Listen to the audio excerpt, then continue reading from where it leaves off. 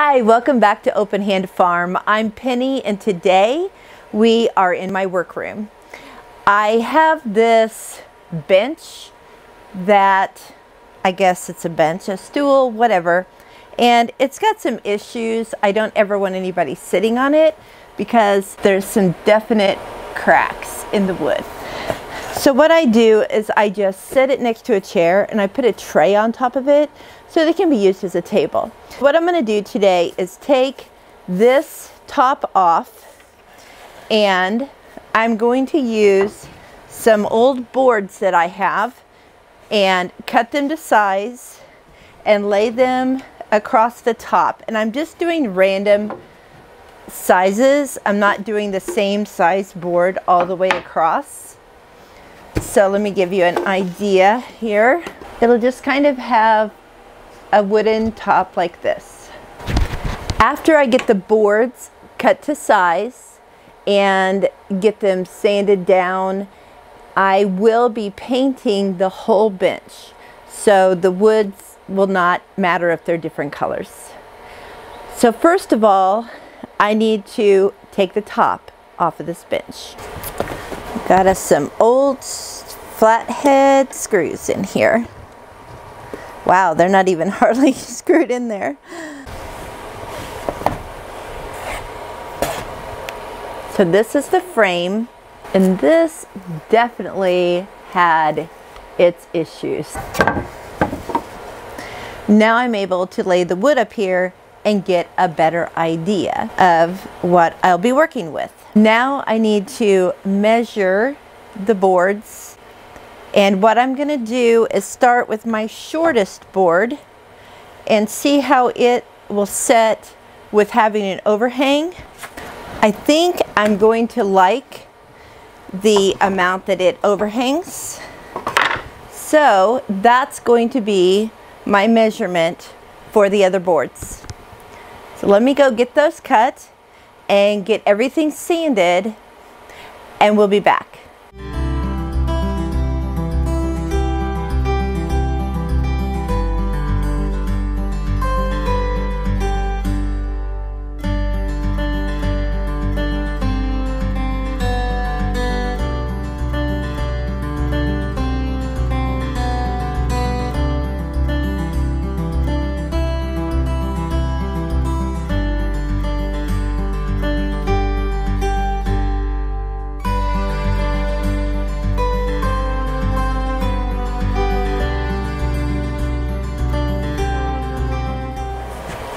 So I have the boards cut and sanded and they are a little uneven because uh, especially this board, this two inch board is a little bit shorter than the other boards.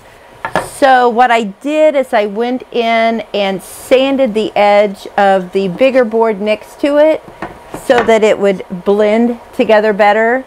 You can see in the picture the difference. So now what I want to do is take the boards off and I think I want to individually paint the boards. So that's what I'm going to do first. And I will paint the frame by itself also. So let's get to painting. The paint I'm using is just a basic black flat paint. I really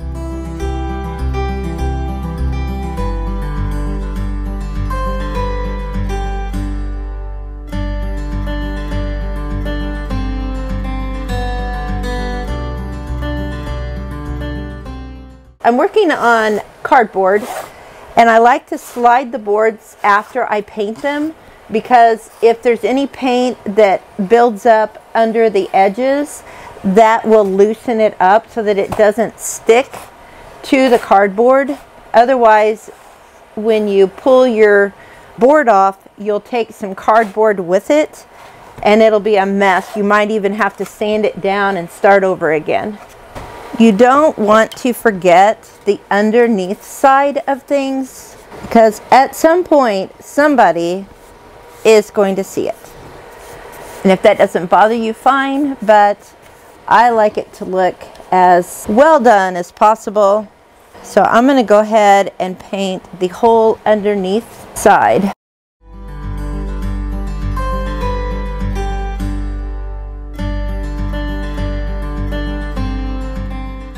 Now as you're doing the underneath side, sometimes what happens is you'll get some paint dripping from the edge you're painting on. So you just want to kind of make sure that there's no drip marks. Kind of clean it up as you go. Otherwise, those will dry and you'll have to sand them off and work on that side again.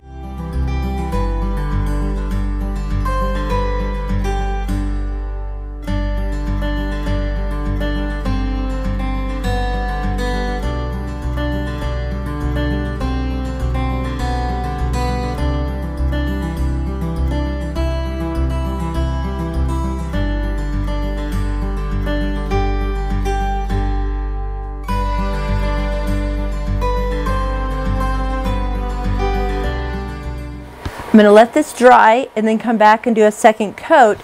In the meantime, I'm going to put my paint brushes in a plastic bag and wrap them up really tightly so that I can use them again and they won't dry out while I'm waiting for the table to dry.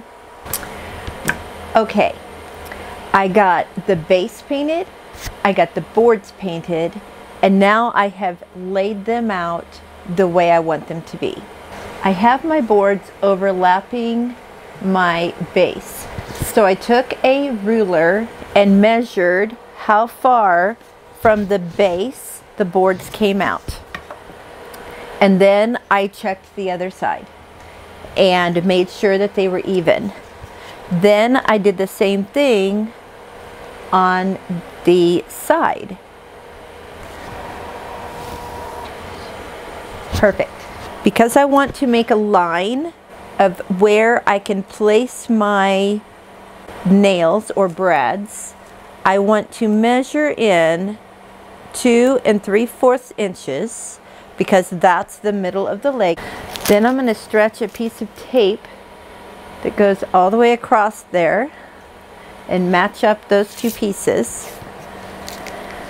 And I know that I need to put my staples or brads on this side of the tape. And I've already done the other side, so it's ready to go too. I decided the easiest way to connect this is to use my brad gun. It is an air gun. Now remember, I'm going to stay on this side of the blue. So I'm just going to put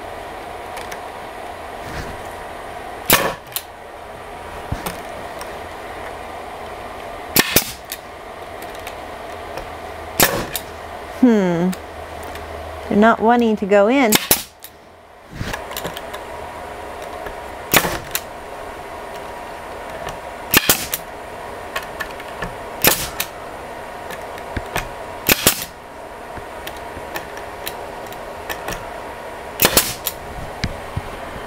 Okay, for some reason, they didn't want to go down in there.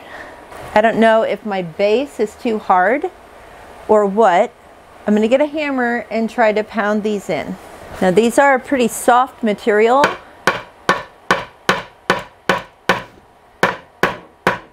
So I don't know. No, they're bending on me. So I think instead I'm going to cut the tops off. They are connected. Well, that side didn't get one in it. But they're just sticking out and I don't know why. This just shows you that not everything goes perfectly, even if we're trying to video it.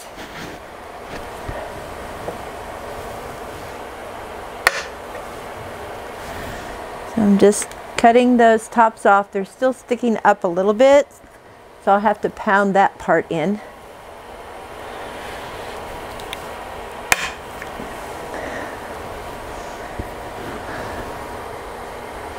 All right, now flatten that in, flatten that, that. Okay, then I need another one over here. let's see if we can get it to go in and stay.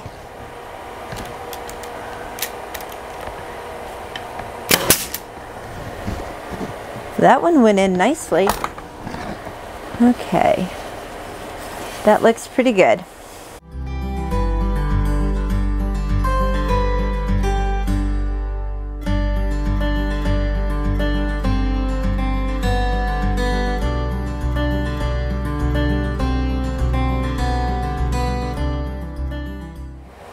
The first thing I'm going to do is sand the edges to expose bare wood because I like that style. Then I'm going to take this folk art home decor wax. I'm just going to use it as kind of like a stain. I'm going to go over the whole project and it will just give that black paint a richer look as well as stain any bare wood that I have exposed by sanding to a nice dark brown color.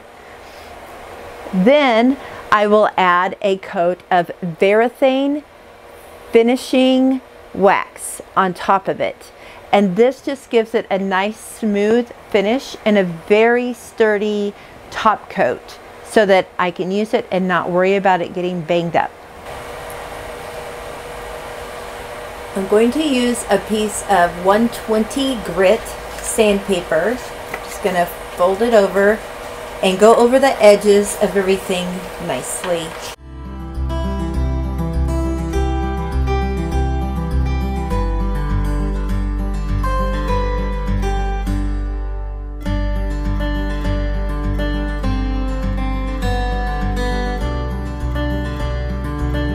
This is actually watered down some already.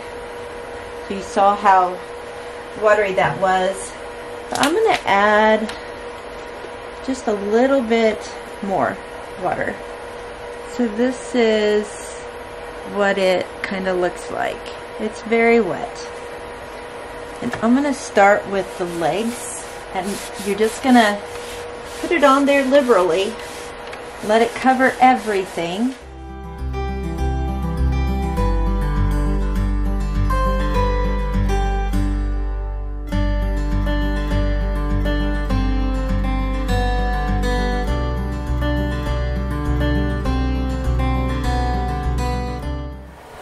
That's good.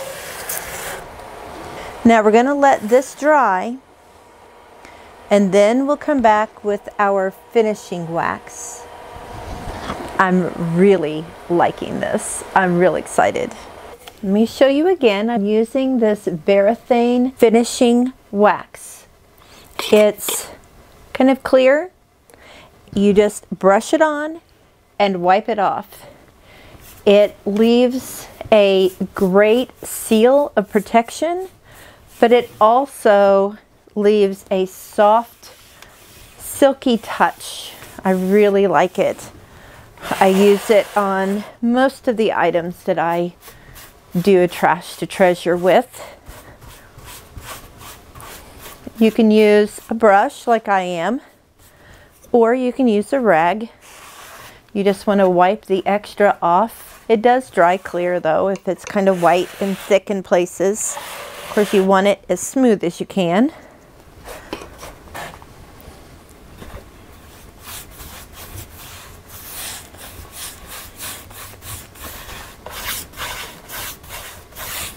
I will probably let this top dry and then do another coat just so that it has a little bit more protection in case somebody sits a drink on it or something. I have actually used this on outside furniture that has had snow sit on it and sunshine shine on it and it's actually doing quite well. I think we're done. I will let this dry, put another coat on it, and who will see how it looks.